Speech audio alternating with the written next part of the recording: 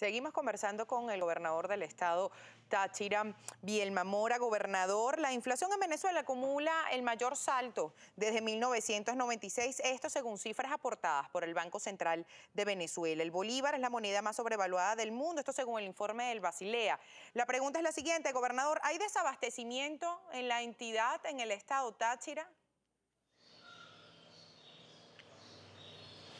Bueno, eh, se habla mucho del, tema a nivel nacional sobre desabastecimiento como un objeto, una, una matriz de opinión, una comunicacional para ir afectando a los ciudadanos. En el estado Táchira, le, dije Carolina que llegan 28 mil, más de 28 mil toneladas de alimentos eh, mensuales y cabe destacar que el que maneja el 75% es la red privada. Eso hay que recordarlo porque pareciese que fuera la red pública, es la red privada que maneja eso, y hay un contacto, con una comunicación constante entre esos establecimientos, el Ministerio de Alimentación, con el objeto de mantener siempre eh, la medida o los estándares llenos en los eh, respectivos anaqueles. Pero hay que recordar algo, nuestros productos son muy baratos.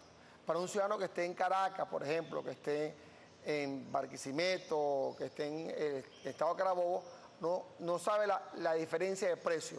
Ahí cuesta, por ejemplo, 12,5 un kilo de harina de maíz. Ese kilo de maíz cuesta, en, Colombia cuesta 200 bolívares. Eh, por ejemplo, que puede costar 80 bolívares una lata de leche en polvo, esa lata cuesta en Colombia 500 bolívares. Entonces, vean el diferencial tan grande y hay rubro incluso más extraordinario. 46,6 eh, bolívares cuesta un kilo de café. En Colombia cuesta 640 bolívares. Entonces, cuando uno ve esos márgenes tan, tan diferentes, tan, eh, hay esa, disparidad tan grande, por supuesto, obedece a que hay un intento de pasar productos para Colombia. Nosotros hemos sido muy, muy fuertes en ese tema, pero siempre buscando mantener los anaqueles nuestros llenos. Incluso hemos hablado con cadenas de productos farmacéuticos que están preocupados porque los productos aquí se acaban muy rápido en el Táchira viene cualquier ciudadano colombiano y se lleva cualquier cantidad de productos a Colombia porque son muy baratos. Aquí en pastillas, que no puedo mencionar porque no se debe hacer en televisión, que cuesta 6 bolívares la caja. Y esa cajita cuesta en Colombia un, cuesta mil bolívares. Otro ejemplo, hay unas pastillas que son para hipertensión. Cuesta en Venezuela 400 bolívares y cuesta en Colombia 6 mil bolívares. Cuando uno ve esa diferencia, es un atractivo para pasar productos para Colombia de cualquier manera y eso hace que nuestros anaqueles siempre estén reducidos, a pesar que ahora estamos trabajando muy duro para alcanzar eh, unos resultados favorables en la lucha contra el contrabando, pero que estén nuestros anaqueles totalmente llenos para satisfacción de todos los tachirenses. Gobernador, usted comentaba que llegan más de 28 mil toneladas de alimentos mensuales a la entidad, pero 75% del manejo de los alimentos está en manos de la empresa privada. Usted habla que también hay anaqueles reducidos en este momento. Le reitero la pregunta que le hice al inicio. ¿Hay desabastecimiento en la entidad? ¿Anaqueles reducidos es lo mismo que desabastecimiento? No, no, en el Estado no hay ningún tipo de desabastecimiento. Incluso ya, esta es la tercera vez que le he dicho, que son 28 mil toneladas. Estamos sobredimensionados en el consumo necesario para el Estado Táchira per cápita, porque hay todo un plan del gobierno de demostrar que en el Táchira hay alimento, pero le recuerdo que es tan costoso un alimento en Colombia y es tan atractivo llevárselo a Venezuela que eso de una manera u otra hace que exista una mayor demanda de productos en el estado Táchira. Pero hay que recordar también algo aquí. El sector privado del estado Táchira nos ha ayudado mucho. Incluso están de acuerdo con la carta huella, nos han llamado para colocarla de una vez. Y algo más importante todavía, que hay una información constante entre la red privada, con la red pública y con la red de Andes, con el objeto de tener toda la misma información y evitar cualquier distorsión porque siempre las redes sociales eh, tratan de eh, turbiar la información y crear todo un pánico para desacreditar al gobierno nacional, regional y hablar siempre de que puede haber unos productos que estén desaparecidos de los anaqueles tachirenses. Gobernador, le saluda Gabriel López, también desde acá, desde el estudio de Primera Página. Hay muchísima participación de nuestra audiencia a través de nuestra cuenta en Twitter, arroba Primera Página. Vamos de inmediato a leerle algunas preguntas, comentarios y sugerencias que nos hacen llegar para usted, gobernador. Por ejemplo, arroba Leonel Ríos dice, buenos días, si se tiene controlado el contrabando en la frontera, ¿por qué no se consiguen los productos en el centro del país?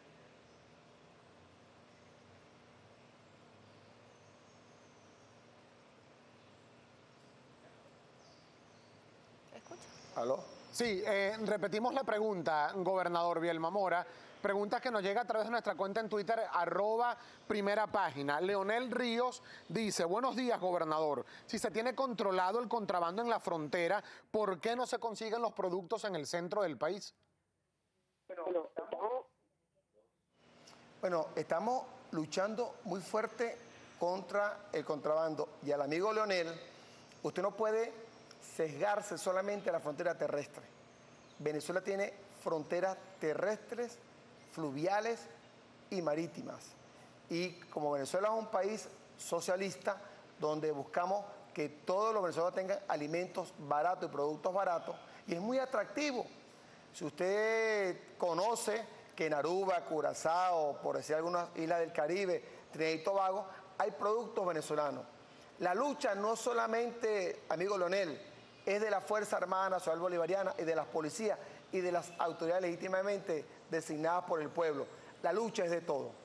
Si, el, si los ciudadanos que intentan pasar productos de contrabando hacia las islas del Caribe, hacia un país eh, vecino, por cualquier manera, la culpa no es de la Fuerza Armada, la culpa es del ciudadano que atenta contra su país y busca una manera económica eh, de traición a la patria, de sacar productos para fuera del país. Entonces, la situación es de todo, Leonel. No solamente es de unos responsables que estamos ahorita, es de todo. Cuando los ciudadanos entiendan en este país que hay que protegernos, que tenemos que defender lo nuestro, productos baratos, vamos a alcanzar sólidos resultados en la lucha contra el contrabando de extracción o cualquier delito que se quiera causar en el tema económico y comercial. Rápidamente, gobernador, porque hay muchísima participación. Eh, vamos a solicitar, por favor, su ayuda con respuestas eh, precisas para todas las personas. Alberto Llanes se pregunta, gobernador de Almamora, ¿dónde están las toneladas de comida que han incautado? ¿Dónde se están vendiendo? Eh, la vendemos constantemente. Hay, una, hay dos procedimientos, apreciado amigo. Un procedimiento que es donación, y otro procedimiento que es cuando el dueño de la mercancía eh, informa dónde va el producto, es, él mismo lo vende en diferentes partes. Todos los productos han sido vendidos o todos han sido donados. No se ha perdido ni un kilo de producto por ninguna causa. Rafael Mundaraín pregunta, gobernador, y dice, desde el gobierno nacional dicen que el cierre de la frontera fue una medida, una decisión bilateral, pero la canciller Holguín ha dicho que es una medida unilateral del gobierno venezolano. ¿Qué es lo que está pasando con esta medida? ¿Hay o no hay acuerdo entre el gobierno de Colombia y Venezuela? Si hay acuerdo, es tanto el acuerdo que hay, una, hay un centro eh, operaciones binacionales en Colombia y uno en Venezuela, donde todos los días sale información y estamos todos de acuerdo en que la lucha contra el contrabando es una tarea de todos, de ambos gobiernos, pero la tarea es de los ciudadanos. Cuando los ciudadanos entiendan eso, no va a haber necesidad de tener centros de control en frontera. Arroba Ortiz Nelly le pregunta, gobernador, ¿qué pasa, por ejemplo, con los funcionarios militares que se compruebe estén comprometidos con el tema del contrabando en la frontera? ¿Cuál es la medida contundente que piensan tomar para sancionarlos? Gabriel, tenemos bastantes eh, personas detenidas, 149 en el estado Táchira, de los cuales hay un porcentaje de unos 30 funcionarios eh, militares que están en este momento en el centro de personas militares del estado Táchira. Esos funcionarios pasan a la orden de la Fuerza Armada y tienen todo el peso de la ley. Hemos sido inflexibles en esta medida porque un oficial o un policía de incluso para mí pagar doble penalidad Y si usted me preguntara, yo incluso le, le aplicara hasta degradación, porque es un delito de traición a la patria. En este momento están procesados como cualquier ciudadano sin ningún tipo de, de perdón en este caso. Gobernador, vamos a tocar rápidamente el tema del contrabando de combustible. Hace algunos días la diputada Giver Lugo eh, aseguraba que hay 700 personas que están siendo investigadas por este delito. Ella también habría dicho hace algunas semanas que eh, a través de investigaciones que se estaban realizando tenían detectado las personas que cruzaban eh, más de una vez la frontera y a quienes les sería suspendido el cupo o el chip del combustible. ¿Qué se ha hecho con esto? ¿Cuántas personas se le ha suspendido el cupo y cómo son las investigaciones que se están llevando a cabo?